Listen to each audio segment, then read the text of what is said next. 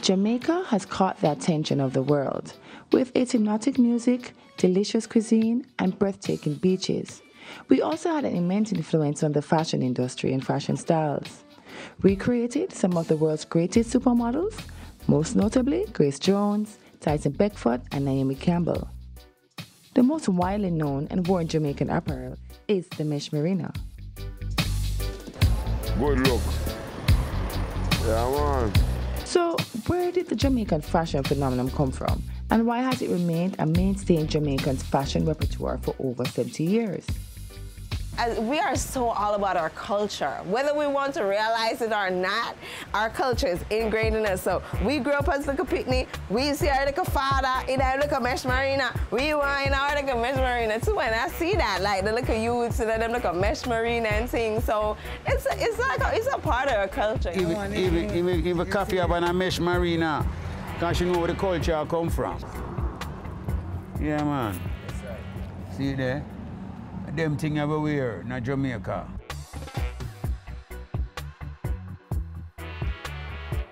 For the first time for me to put on a mesh marina, it was in the, in 68. In a them time there, yeah. As a youth, going to school, putting it on and wearing it and open my shirt and make them see, I say, whoa, a bad man. I said, nah, man, I'm only bad man alone, wear them clothes. And say, yeah. But I say, whoa. I love Mesh Marina because it's convenient for me to wear. You know what I say? The fact say it have a mesh, me can feel more breeze, you know what I say? Comfortable, you know what I say? Um, me not so hot, you know what I say? Even me can wear a jacket and beat a mesh marina under it and me still feel cool. With the mesh, you feel more cool. And if you should hot coming into your clothes and you feel extra hot and you take off that, you don't have to take off the marina. Because the mesh, the breeze will touch your skin same way. Say, yo, the same time a mesh marina, it really to me more gangster side. You know, me feel like when, so even if me a me true because me know say, yo, thugs we, we wear that, and me have that thug is the inner myself same way, me wear it too.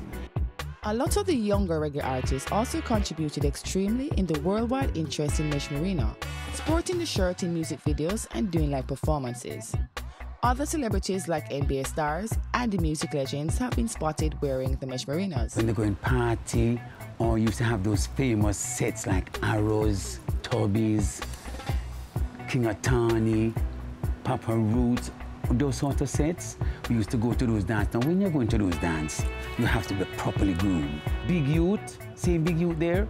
Shit, he was a trend. He's a, he was a trendsetter and still is a trendsetter. Henrik Brun, a commander in the Norwegian army, invented the first vest in 1933 with the help of a company called Brynje. The idea of this visit originated from Henrik's frustration with the undergarments provided to troops. He imagined a garment that would give warmth, reduce dampness, while also regulating body temperature. Norwegian King Haakon VII was a supporter of Henrik's original design. British working class men began wearing the string vest, as it was referred to by the English in the 1950s. While the style declined in England during the 1960s, it became a mainstay in Jamaican culture. England. From England, you know.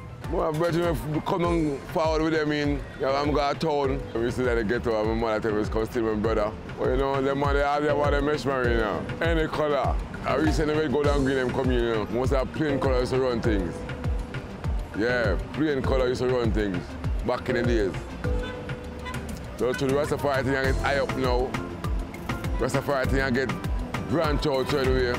Rasta man like to wear mesh marina too, you know what I say? It's just a, it's just a, a thing, you know what I say? It's just a thing with Jamaicans, you know, it's a fashionable thing and, you know, you know, me like to do that because it enhance my fashion and bring across a sense of originality. Like many items Jamaican use, the mesh marina is not manufactured in Jamaica and shipped from abroad. No judgment to the Chinese. Even just the other day, I was watching a thing. In Africa, they're closing down a lot of their stores because they take our ideas all the time and talk about why we are not doing it. This is what I'm saying. They they they take these things and then they lock off the market, lock off the because they have the money to lock off the market, and then we get knocked. We we can't even we don't have the money to, and they they put together too, and we're not united. China take over our business. Me show you. Me remember what time gone by, my brother. China used to come here come buy all them stuff here. Where's the make? It's time to stuff China bring you know. Yeah. We didn't come buy them from. Thousands of dollars my brother to buy, sell them craft. Yeah. I then go over there, on them, pirate them, and come in for them, for them material. Yeah, they can't get our material, you know. They come with for them material. But the looks are there. You know, the thread itself would probably cost about 1500 And that's probably like what it costs to make a machine-made one, you know what I mean? But then it, my, if I'm gonna crochet a mesh marina, it's gonna look nowhere near the machine-made stuff, you know what I'm saying? So it's, it's kind of like um, fast food versus gourmet. Jamaica look, the Rasta looks. Yeah.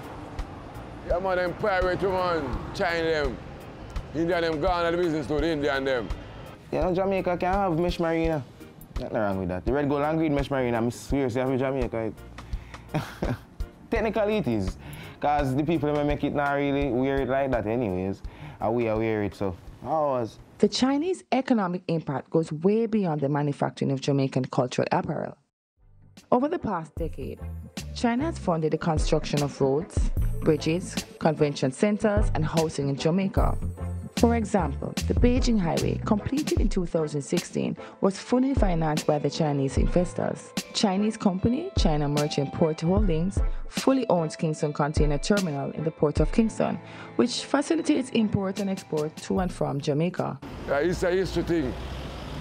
And, and, and yesterday today, way back, I, I really hotter now.